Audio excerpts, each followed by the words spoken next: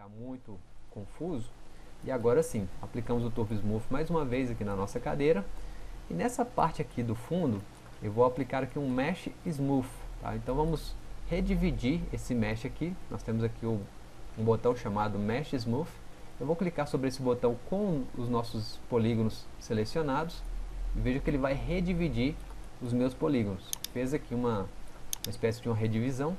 Agora eu vou afastar essas edges aqui, não sei se vocês percebem, mas esses objetos aqui que nós temos, eles vão como se fosse achatando aqui conforme vai descendo.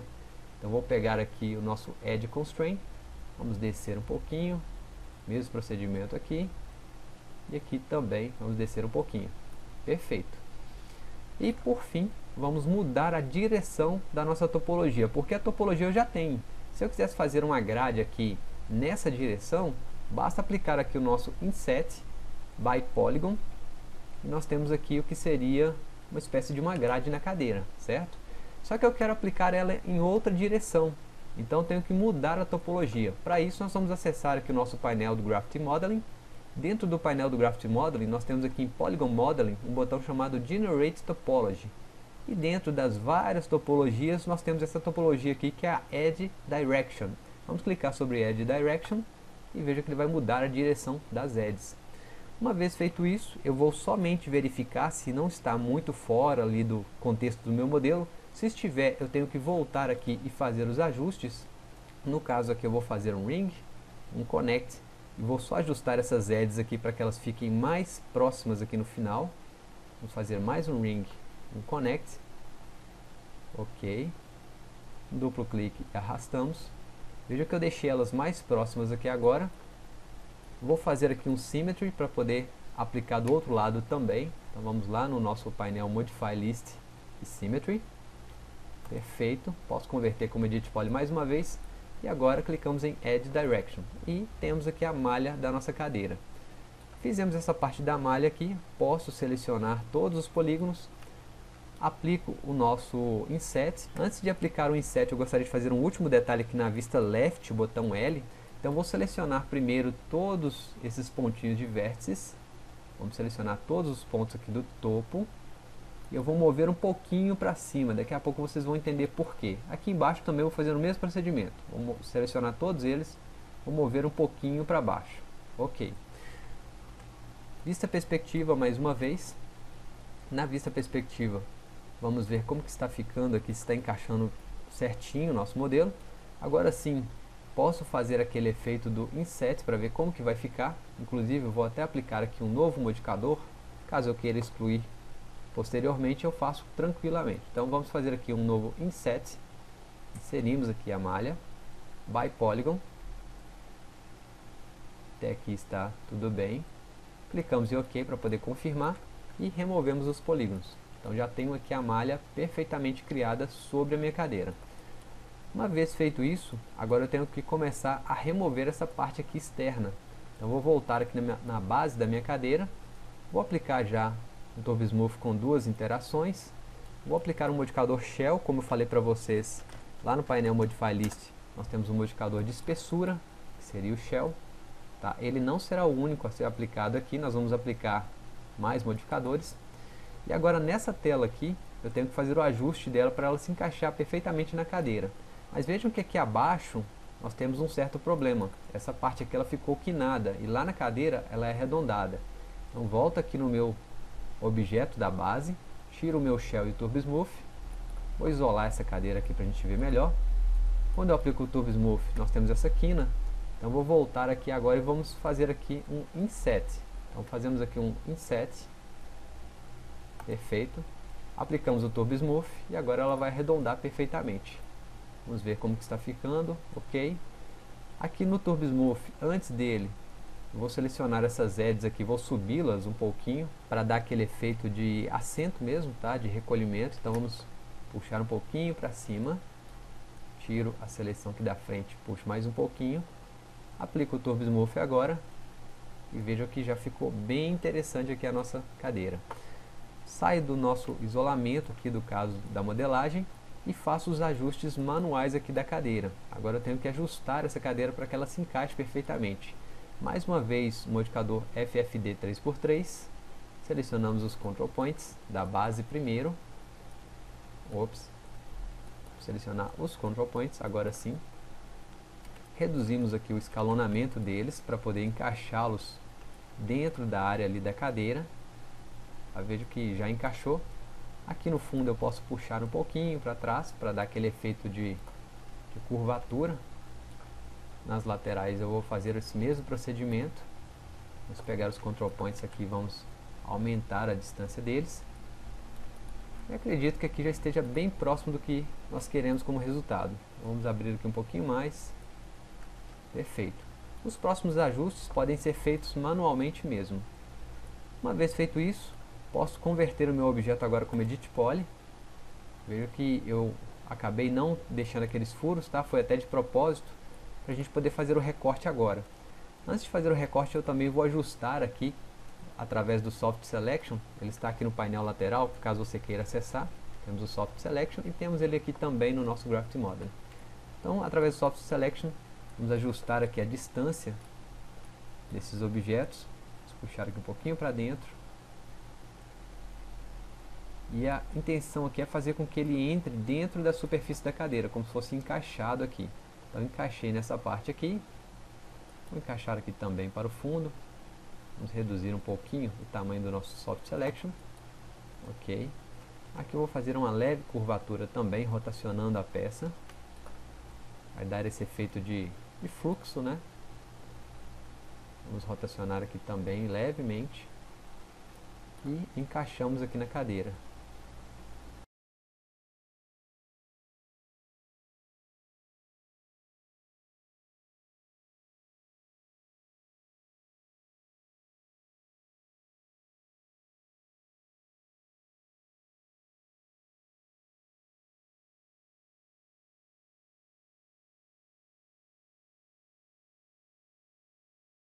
Concluímos aqui o nosso lado direito, agora vou fazer uma simetria para o lado esquerdo, eu posso sair aqui do nosso Soft Selection primeiro, aplicamos um modificador Symmetry, com o modificador Symmetry posso converter o meu modelo como Editable Poly e excluir essa linha central aqui, que não é necessário mantê-la, no nosso caso aqui eu vou até isolar para poder visualizar tudo, excluir a linha central, agora sim vamos aplicar o nosso modificador Edit Poly para poder excluir essas faces e depois o modificador Shell. Só por base de informação, além de utilizar o nosso objeto editável, nós também podemos criar as linhas. Eu posso selecionar aqui todas essas edges e vir aqui no nosso botão Create Shape. Temos aqui um botão chamado Create Shape from Selection, que ele vai criar aqui as nossas edges. Vou colocar como linear primeiro, clicamos em OK e veja que aqui nós criamos várias edges no nosso modelo. Essas edges aqui eu posso habilitar através do Enable Render, Enable Viewport e fazer aqui como se fosse um efeito de linha mesmo, tá? Para vocês verem aí, nós temos as edges do nosso modelo. Só que eu quero fazer ela utilizando a superfície, porque ela é mais leve. Então vou pegar aqui a superfície, vou adicionar um Edit Poly a ela para poder editar e se caso for necessário eu posso excluir posteriormente. Então selecionei todas as minhas edges. Feito isso, eu vou aplicar agora um Inset Vamos inserir a malha com a opção By Polygon. Tá? Vamos deixar aqui mais ou menos nesse ponto. Ok. Feito isso, vamos dar um OK para poder confirmar aqui. E podemos excluir essa superfície. Já temos aqui a nossa tela. Com essa tela aqui, eu po posso, no caso, excluir essa parte aqui. Se caso for necessário, eu posso tirar toda essa, essa parte aqui que não vai aparecer então posso removê-la, vou deixar aqui no caso também, ela vai ficar dentro do modelo. Vou aplicar o modificador Shell, então mais uma vez aplico aqui o nosso modificador Shell para criar espessura na nossa peça, para que vocês possam ver aí bem claramente. Ok, vamos sair do isolamento agora e vamos alinhar esses dois objetos. Então através do alinhamento vocês vão ver aí que vai encaixar perfeitamente. Uma vez feito isso, agora eu posso mais uma vez acionar o meu modificador Edit Poly e só vou ajustar aqui para que esses objetos fiquem dentro. Então vamos ativar o nosso Soft Selection mais uma vez, vou reduzir a área aqui, a seleção suave e fazemos aqui o ajuste manualmente mais uma vez. Eu vou deixar essas peças aqui todas dentro da cadeira. Então vejam aí que aos poucos nós vamos fazer todo esse ajuste aqui das peças. Muito cuidado porque ele pode aparecer na parte de trás aqui também, tá? Então muito cuidado nesse, nesse ajuste, porque nós devemos deixar aqui bem, digamos que dentro da superfície. Então, aqui de fora a fora eu vou fazer esse mesmo ajuste.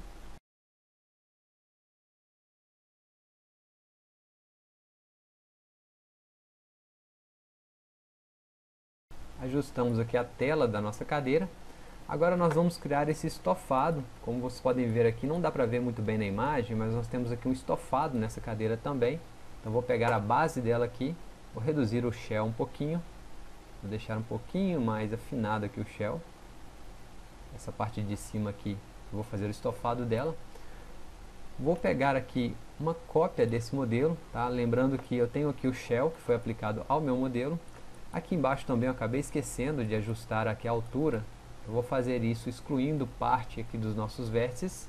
Vamos excluir esses vértices aqui agora, até para ficar mais fácil a modelagem. Vamos pegar aqui toda, todos os vértices da base. Perfeito. E depois é só ajustar eles da mesma forma que nós fizemos lá na parte de cima. Então, eu vou ajustar aqui a altura deles eu estou sentindo que esse shell ele está um pouquinho grosseiro. Eu posso voltar aqui no meu shell reduzir aqui a espessura dele, digamos assim, né? Vamos deixar aqui bem fininho para não alterar no nosso modelo.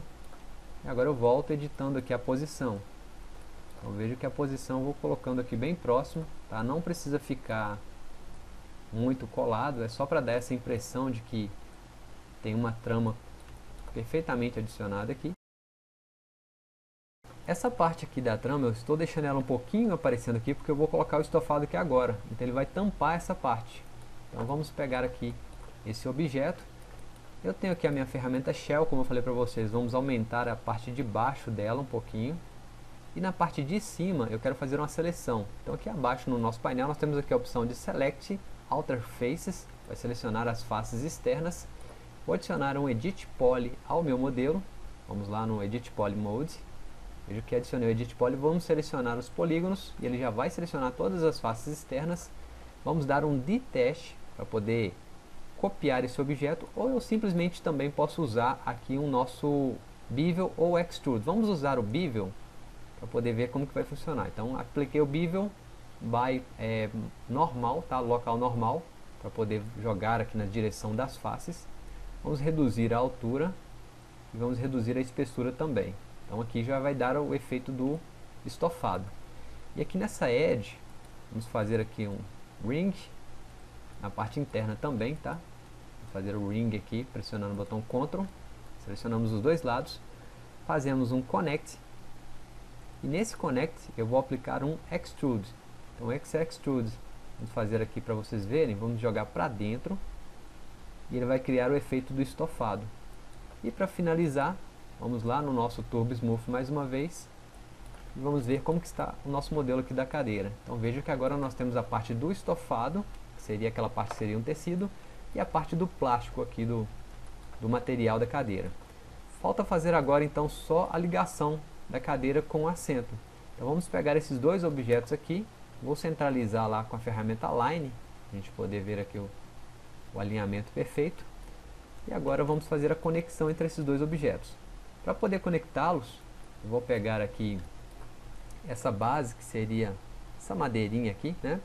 Lá na nossa imagem de referência, vocês vão ver que nós temos uma espécie de um parafuso aqui abaixo.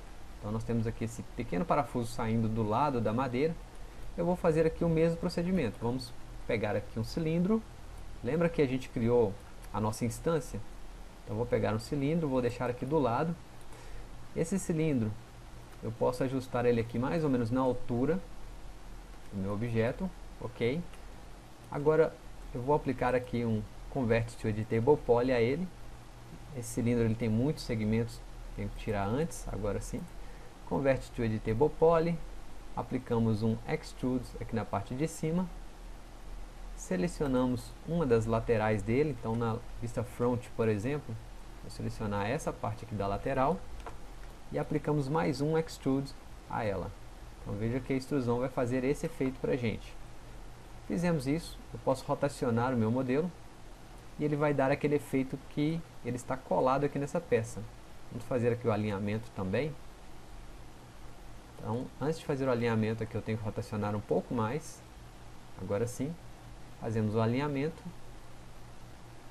Perfeito. E podemos juntar essas duas peças aqui. Então, vou juntar a base a essa pecinha, através do botão teste. Eu juntei as duas peças, vejo que lá na cadeira todas as peças foram adicionadas. E agora eu posso pegar qualquer uma dessas peças aqui e vou aplicar aqui um novo Extrude. Então aplicamos primeiro um Inset, depois um Extrude, mais um Extrude, damos um Grown, tiramos a seleção de cima e aplicamos mais um Extrude no formato local normal. Reduzimos um pouquinho aqui. E agora vamos só puxar essa seleção aqui um pouquinho para cima, para que ela dê esse encaixe na cadeira. E aqui temos o nosso formato da cadeira perfeitamente criado. Um detalhe interessante, vocês vão notar que essa parte aqui ela fica quadriculada. Para a gente poder corrigir isso, é só selecionar todo o elemento da nossa cadeira. Então vou pegar aqui toda essa seleção do elemento e vamos clicar em Auto Smooth. Vamos lá no nosso painel lateral, dentro do Polygon Smoothing Groups e clicamos em Auto Smooth. E vejam que vai corrigir esse efeito quadriculado. Agora é só criar os materiais da cadeira e ser feliz, tá? Então vou deixar para vocês aí brincarem um pouquinho com essa parte de materiais e também se precisar ajustar, é só voltar aqui na edição dos objetos, por exemplo aqui no Edit Poly, eu posso selecionar esse pontinho de vertex, ativo Soft Selection, vamos aumentar aqui um pouquinho a área da seleção, puxo para baixo ou puxo para cima e faço aqui algumas deformações, digamos assim, para poder melhorar o nosso modelo. Vou puxar um pouquinho para baixo, deixar ele mais curvo. Agora eu vou lá na parte da tela e puxo um pouquinho para trás, através da vista left. Veja que aqui está desalinhado, então posso puxar aqui para trás, aqui também. E vou fazendo esses ajustes aqui no modelo para deixar ele melhor. Espero que vocês tenham gostado demais dessa videoaula, tá uma videoaula bem direta ao ponto aí para vocês aprenderem mesmo, né, como que se faz essa parte da modelagem, como que se pensa nessa parte da modelagem. E no mais, eu deixo um grande abraço a todos e aguardo vocês na próxima videoaula aqui do site FX Total.